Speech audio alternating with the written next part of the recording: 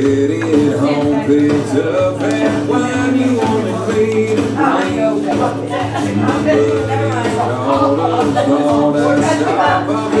the the country bro.